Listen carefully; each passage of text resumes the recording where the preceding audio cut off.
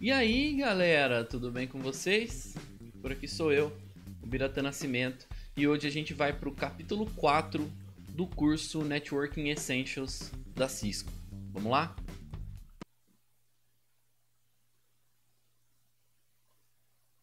Pessoal, então, capítulo 4 já aqui aberto. Vamos ver quais são os objetivos desse capítulo.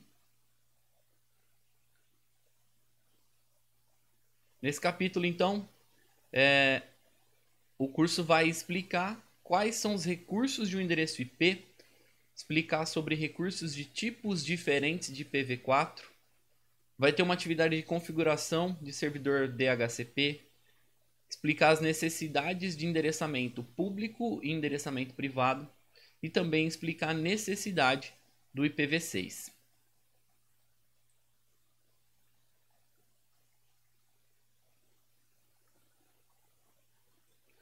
Então, o que, que é um endereço IP, né?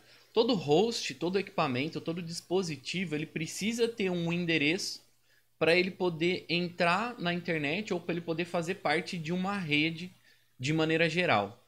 É, o IPv4 ou o IP de uma maneira geral, ele é colocado sempre dentro ou na porta da interface de rede, da NIC, né, da nossa placa de rede. E aí essas estações de trabalho, a gente tem servidores, impressoras que recebem IP, todos eles recebem essa numeração e aí passam a fazer parte dessa rede, a poder ser acessados nessa rede. Aqui tem um videozinho onde ele vai lançar o IP onde ele quer encontrar o pacote, enviar o pacote e aí ele encontra a máquina. Dessa forma, então, que há comunicação.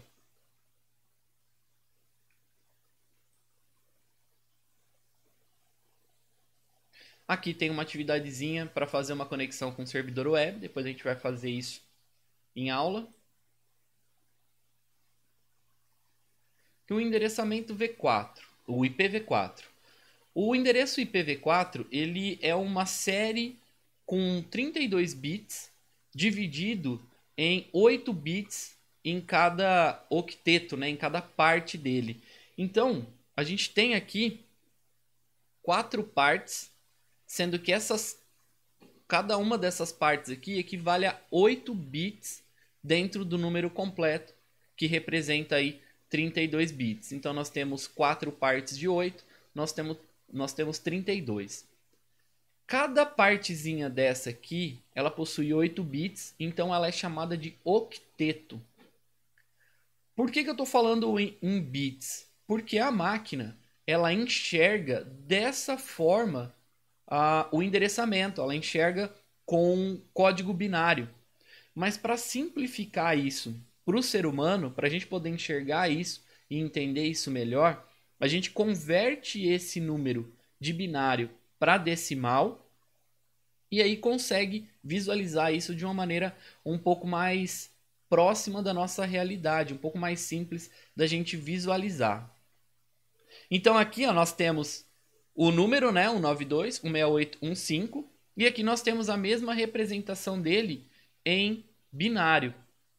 O fato é que a gente tem aqui, para simplificar, a divisão disso em quatro partes de 8 bits, fazendo aí um cálculo de binário para decimal somente de uma pequena parte de um número desse, gerando aqui um 92, um 68, um 5.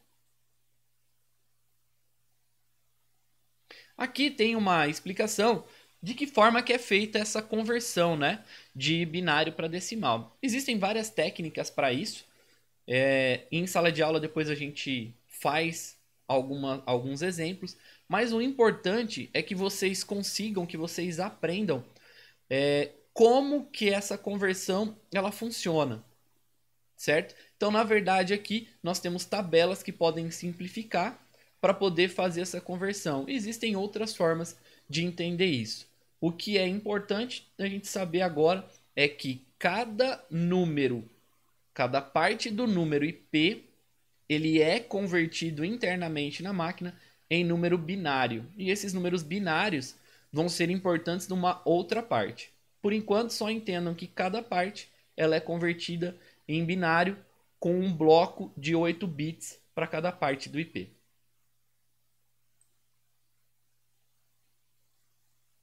Aqui tem um, um jogo do binário, né? um jogo binário para testar, para aprender, para treinar aí a conversão de binário para decimal. No capítulo 3, a gente falou de uma maneira bem rápida sobre o endereço IP e a, as partes que ele se divide. Então a gente tem uma parte que é a parte de rede e a outra parte que é a parte de host. Então um endereço IP ele é dividido em duas partes, sendo que a primeira parte ela trata do endereçamento, do nome, do tipo da rede e a outra parte ela trata do nome, do tipo, do endereço dos hosts. Então existe uma diferença aí entre a primeira parte, que é a parte de rede, e a segunda parte, que é a parte de host. Esse tamanho de cada parte ela pode variar de acordo com algumas características que a gente vai ver daqui para frente, certo? O que, que a gente precisa entender que nós temos uma parte do endereço IP que representa a rede e a outra parte do endereço IP que representa os hosts daquela rede.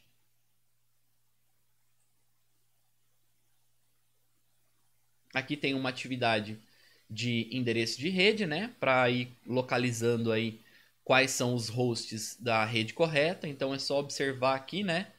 Nós temos três tipos de redes aqui, na verdade três é, classes diferentes. A primeira aqui a segunda e a terceira é só observar o que é parte de rede e o que é parte de host. Fica fácil de puxar aqui.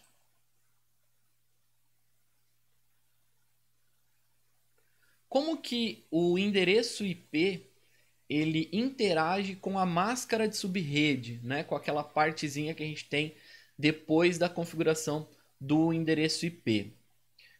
Ela trabalha através de uma operação de end lógico. O end lógico ele trabalha com número decimal e ele faz uma operação bem simples. Ele trabalha aqui com 1 e 1 dá 1. 1 e 0 e 1 dá 0. 0 e 0 dá 0. 1 e 0 vai dar 0 também. Qual que é a ideia então? Se eu tenho um dos dois lados, dá 1. Qualquer outra combinação dá 0. Então eu só tenho um de resposta se um e outro forem um. Qualquer outra combinação eu tenho zero. Aqui nós temos então o endereço IP convertido em binário. Aqui nós temos uma máscara de subrede convertida em binário. Aqui nós temos uma execução com o resultado da operação AND. Ou seja, se eu tenho 1 e 1, dá 1. Se eu tenho qualquer outra coisa, eu tenho 0. Então aqui eu tenho 0 e 1, vai dar 0. Aqui eu tenho 1 e 1, dá 1. 0 e 1 vai dar 0. Então, usa aí o método AND quando eu tiver os dois lados com 1, um, ele dá 1. Um. Qualquer outra situação, eu tenho 0. No final, como eu tenho aqui 0 na máscara, né? Então sempre vai ser 0 embaixo, independente do que tem em cima. E aqui nós temos o resultado do end lógico aí entre IP e máscara. Observem que para nós, para os seres humanos, é muito fácil a gente identificar que a primeira parte aqui é exatamente igual à parte do IP. Mas é, se atentem que a gente está entendendo o método com que o computador trabalha.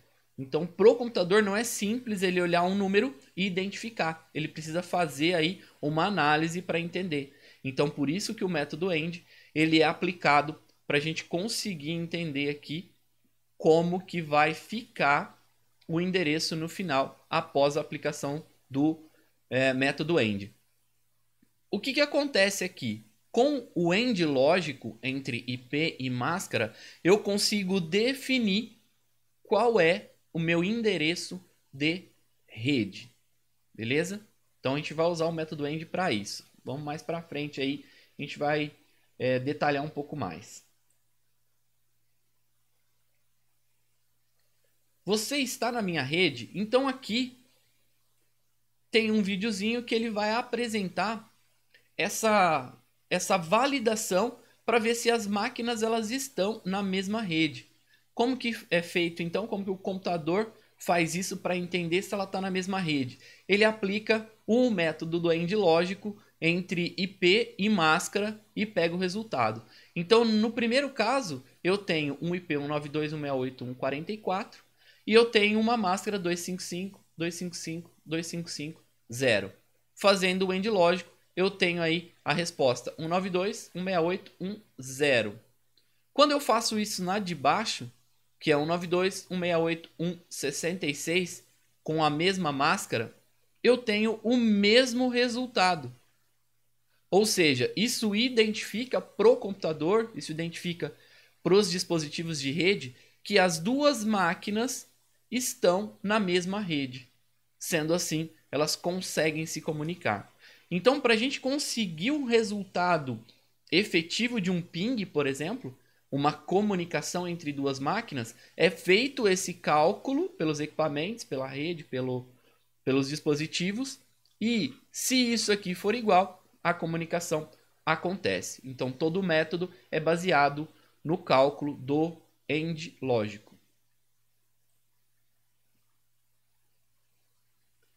As máscaras de subrede. As máscaras, elas também são divididas em duas partes. Assim como o endereço IP, ela é dividida nas partes que são de rede e nas partes que são de host. Nós temos aqui então três máscaras, que são máscaras do tipo padrão, que são aquelas mais comuns, que são as criadas lá no início do endereçamento IP para identificar cada rede. Então a gente tem aqui a primeira máscara, que é a 255.000, ou seja, ela usa 8 bits de endereçamento de rede. A gente tem a segunda máscara, que é 255.255.00, Quer dizer, ela usa 16 bits para endereçamento de rede. E a gente tem a última 255, 255, 2550, que ela usa 24 bits para endereçamento de rede. Então, a sua máscara, é, uma máscara em, decimal, ela sempre vai ser um conjunto de uns e um conjunto de zeros, sendo que toda parte que tem 1 ela é voltada para a rede e toda parte que tem zero ela é voltada para host. Cabe um parênteses aqui que a gente tem máscaras do tipo personalizada que vão modificar isso aí, mas isso a gente vai ver só mais para frente, não precisa se preocupar com isso agora. Como que eu identifico então, é, verificando, olhando a minha máscara, como é que eu identifico é, quantos hosts, quantos equipamentos eu posso pôr dentro da minha rede? Fazendo um cálculo simples, lembrando que a gente está trabalhando com binário, né? Então eu tenho aqui, quantos bits eu tenho aqui para host? Eu tenho 8 bits, certo? Qual que é o cálculo que eu vou fazer então? 2, porque é binário, né? Base 2, elevado ao número de bits. 2 elevado a 8. Certo? Então, esse valor, ele vai ser o valor de hosts que eu tenho disponíveis para aquela minha rede. O valor, então, é 256. Porém, a gente precisa entender que tem dois números que são extremamente. É, dois, duas posições que estão extremamente importantes para uma rede, que é a primeira posição e a última posição. A primeira posição é a identificação da rede. E a última posição é a identificação do broadcast, ou seja, a quantidade de hosts. Nessa, nesse exemplo aqui, nós temos o primeiro número com 0 que vai identificar a rede. E nós temos o último número com 255, que vai identificar o tamanho do broadcast. A gente viu isso lá no capítulo 3, né? Domínios de broadcast, quantidade de hosts que a gente tem dentro de uma rede. Sendo assim, o cálculo fica 2 elevado a 8 menos 2, que são 254 hosts possíveis de ser colocados dentro dessa minha rede do exemplo. Então eu posso ter máquinas aí que vão de 1 até 254. No exemplo que a gente viu, 192, 168, 0, 1 até 254 podem ser IPs de equipamentos. O primeiro 0 identifica a rede e o último 255 identifica o tamanho da minha rede, o domínio de broadcast. Beleza? Aqui tem uma atividade então para usar a calculadora, né? Nesse caso aqui a calculadora do Windows, mas qualquer tipo de calculadora que você consiga converter, que você tenha a opção de trabalhar com números binários para converter de binário para decimal, de facilitar. Mas tem um métodozinho simples aí que vocês vão aprender que é bem fácil da gente ligar aí. Aqui então a gente tem é, um resumo sobre Classful. O que seria o Classful? Lá no início dessa configuração, desse endereço, desse protocolo né, de endereço IP, no início da, da internet, existia um mundo que era um mundo perfeito. Onde nesse mundo perfeito nós tínhamos é, números de IPs específicos com classes específicas para que pudesse ser muito simples de ser entendido e visualizado. Que números então são esses? Aqui, ó, nós temos a classe A, aqui nós temos a classe B e aqui nós temos a classe C. Notem que na classe A eu tenho um número menor de redes e um número maior de hosts para ser colocado. Na classe B, eu tenho um número aí um pouco maior, um pouco não, né? Tem bastante é, redes disponíveis com uma redução do número de hosts. E aqui na classe C, eu tenho aí um número muito grande de redes e uma redução drástica no número de hosts. Então, se eu tenho uma rede pequena, eu uso classe C. Se a minha rede ela escala, ela começa a aumentar, eu posso usar uma classe B. Agora, se eu tenho uma rede muito grande, eu vou usar uma classe A para identificar os meus equipamentos. Toda vez que eu uso, então, uma numeração IP desse jeito aqui, ó, 000/8 ou 127.00/8, esse barra 8 ele identifica a classe que a gente acabou de ver no, no item anterior, que é a 255.0.0.0. Porque esse barra 8 identifica quantos bits da minha máscara estão alocados para a identificação da rede. Então, na classe A, a minha máscara padrão de classe A utiliza 8 bits para endereçamento de rede que significa o número 255.0.0.0. Na B é a mesma coisa, ele vai de 128 a 191 com barra 16. Quer dizer o quê? Que essa faixa de IP que vai de 128 a 191, ele vai utilizar 16 bits da máscara para endereçar rede 255 255.0.0. E no último a gente tem o 192 até 223 com barra 24, que ele vai endereçar 24 bits para a máscara de rede. Corresponde a 255, 255, 255, 0. Beleza? Além do número 223, a gente tem outras classes que são classes D e E, que são classes para é, multicast, endereços experimentais que consistem aí em endereços que não podem ser atribuídos a, a máquinas.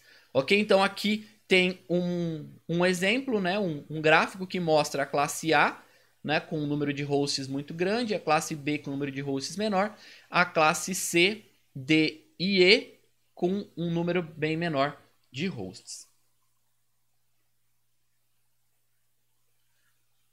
Aqui tem essa explicação que apresenta o Classful, é um videozinho, mas que basicamente ele vai falar, ó, na classe C eu vou de 192 a 223 usando a minha máscara padrão, sempre 255, 255, 2550. Na classe B, 128 a 191, 255, 255, 00. Na classe A, de 0 a 127, usando só 255, 000. Depois vocês vão assistir esse vídeo aí e vão ver esse exemplo, mas é a demonstração do que eu acabei de explicar em Classful. Lembrando, Classful era o mundo perfeito, onde a gente tinha lá um número de equipamentos suficiente, é, IPs suficiente para os equipamentos, e tudo era mais simples, que a gente não precisava, né, os roteadores, os switches não precisavam mandar a informação de máscara junto. Só olhando o número de, de rede, ele já saberia se era uma classe C, B ou A, né? Ah, é 192, é classe C. Ah, é 172, é classe B. Ah, é 10, é classe A. Hoje não pode mais ser assim, né? Hoje os equipamentos têm que enviar tanto o número IP quanto a máscara para poder fazer a identificação, porque a gente tem muitos equipamentos disponíveis aí na rede, precisa ter feito uma identificação melhor. Aqui a gente vai falar um pouquinho sobre endereço privado e endereço público. Por quê? Os endereços IP, eles não são todos iguais e todos podendo ser usados em qualquer máquina. Beleza? Então nós temos aqui a classe A com uma com IP 10, um IP 172.16 e um IP 192.168. Os IPs privados são aqueles IPs que a gente pode usar nas nossas redes internas, dentro da minha casa, dentro do meu escritório, dentro da escola, dentro de um laboratório. São IPs que não são acessíveis ou visíveis externamente, ou seja, via internet. Então existe uma faixa de IPs que são IPs privados. Existe uma outra faixa de IP que é a faixa de IP público. Esses IPs públicos são disponibilizados para os provedores de internet e para as grandes corporações que precisam ser acessíveis externamente. Então eu preciso ter um IP que outra pessoa possa acessar independente da rede que ela tiver. Aqui então nós temos a faixa de IP privado né, da classe A, vai de 10 né, a 10.55, 10, 255, 255, 255. 172, 16 até 172, 31. 192, 168, né, de 0 até 255. Essas são as faixas de IPs privados, beleza? Tudo aí tem um método, tem aí uma, uma documentação que mostra quais são esses números. A atribuição de endereço IP, então, ela é feita através de órgãos que são órgãos governamentais que controlam isso, não é qualquer IP que pode ir para qualquer lugar. Então, cada um desses órgãos tem aí o controle de uma faixa de IP, podendo disponibilizar essa faixa de IP para as empresas, para os provedores, para que eles possam repassar isso, vender ou ativar isso nos equipamentos. No nosso caso aqui, né, na, na América Latina, nós temos a LACNIC, mas também tem a Arin, tem a RIP, a PNIC e a Afrinic, que fazem esse tipo de serviço. Então, por isso que eu consigo identificar um número IP falando de qual região que ele é, né? De qual continente que ele é. Essa aqui é uma atividade, né, para reconhecer o IP público e privado. É só lembrar lá dos IPs que são privados. O restante aí é IP público.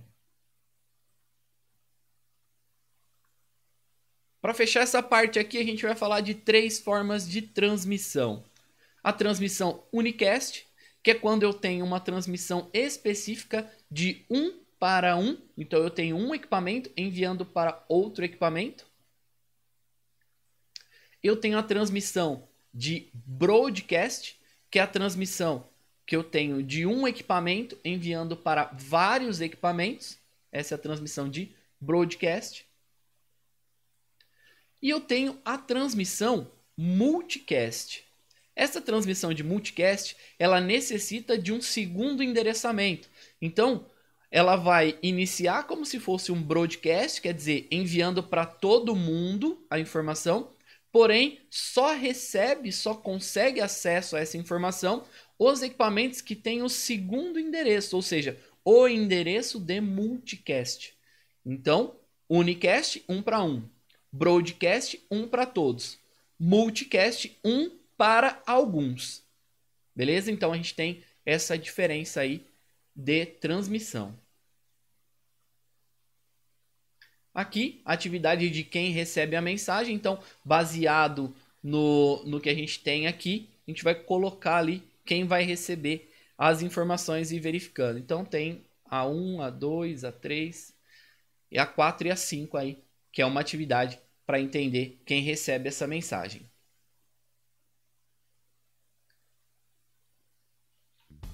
Pessoal, eu vou parar por aqui porque já ficou gigante essa aula. Tá? 25 é, minutos aí, 26 minutos. Mas é o seguinte, é porque é um, um capítulo um pouco mais detalhado. E é um capítulo extremamente importante para todo o andamento de rede. Beleza? Espero que vocês estejam gostando, vocês estejam entendendo. Qualquer dúvida, deixem nos comentários, mandem aí para mim no Telegram, no Instagram ou no e-mail da forma que vocês quiserem. Não fiquem com dúvidas. Beleza? Espero vocês na próxima aula com essa continuação do capítulo 4. Até mais e tchau!